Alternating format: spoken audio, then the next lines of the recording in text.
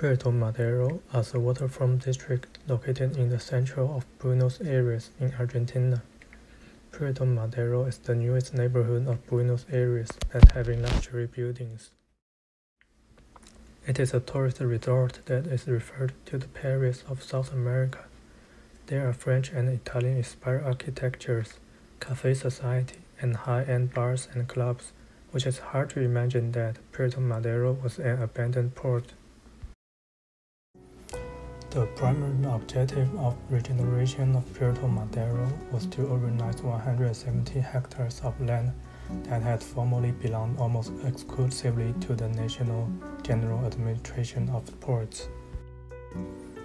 Because of the area's popularity, the revitalization of Puerto Madero was held as a model for Argentina's state change. The harbor became made inaccessible to boats many ages after construction attributed to defective construction, taking the city into deterioration. The municipality, however, started constructing a communal esplanade at the coast, which in 1988 would become the Costanera Sur. It was a famous communal shore before water contamination rendered it unwanted in the 1950s. Many Puerto Madero proposals were drawn up, but before the regeneration of Puerto Madero in the 1990s, little was implemented to revitalize the location. Before the regeneration of Puerto Madero, most of the land was left bare and considered wasteland since people had vacated the region when the ship stopped docking there due to engineering faults. This is the administrative center Plaza de Mayo, before the regeneration practice that led to the growth and renovation of most of the buildings in the town.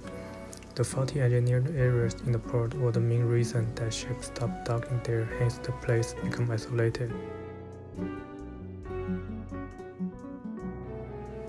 Luis Huergo is the lead engineer that was given the first tender to construct the Puerto Madero waterfront.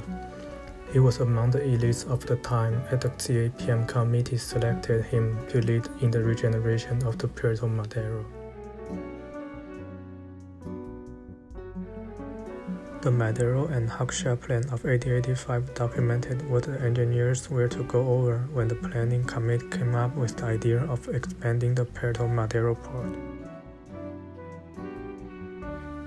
This is the image of Puerto Madero zone in Buenos Aires. Various quays numbered 1 to 4 were among the regions that the private investor plus the government had to develop.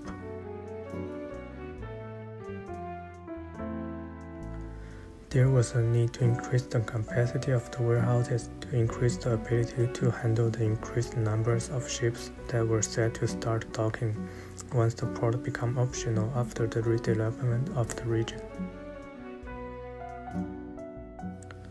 The warehouses were created to successfully house the offices of the new investors that had also come with the aim to improve the infrastructure of the region.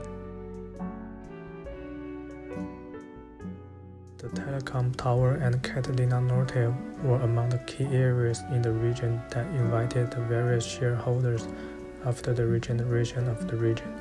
The building was among those that housed the various investors of that period. At the Central Puerto Madero, Hilton Hotel was built and which also stationed various shareholders after the regeneration. It is now a landmark five-star hotel. The airport Mill scheduled for conversion to a luxury hotel.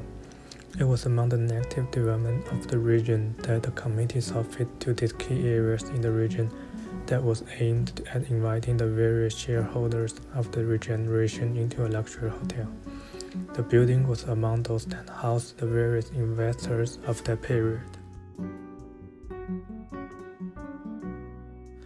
The construction underway on Madero Estate included office buildings and apartments. The Puente de la Mujer, which means Woman's Bridge, designed by Santiago Calatrava, linking central Puerto Madero to the city center. The bridge was among those that attracted the various visitors in the region, increasing the access to their expenditure while providing jobs to the locals. The Edward Taylor's Pier is a city landmark from 1855 until the dock's development. Edward Taylor's Pier received the various visitors of that period, brought in from the larger boats. The Buenos Aires harbor around 1915 could only hold a small number of ships. It was busy from a long time ago, giving the town an advantage of being close to the sea. It was a great market center and it brought meeting of traders and investors. This is a partial view of Buenos Aires harbor which shows the low carrying capacity of ships. The central train station became a part of Puerto Madero now. The connection of the train station to the port improved the transportation link to the inland. The trade in the region was improved due to the efficient supply of goods from the port city into the inland. This is the master plan of Puerto Madero, Buenos Aires. The CAPM proposed the region giving the development team a clear view of what was being proposed. The expansion of the port was to accommodate the bigger boats that were not able to dock there before. Compared to the post-development image of the district of warehouses and undeveloped land, it shows the rising development following the development map that was set before. It further shows the undeveloped land that is still under plans. The continued execution of the Puerto Madero master plan included the demolition of a number of warehouses to pave ways for high-rise buildings that will improve the economy of the region through the provision of jobs and the creation of investor-friendly environment.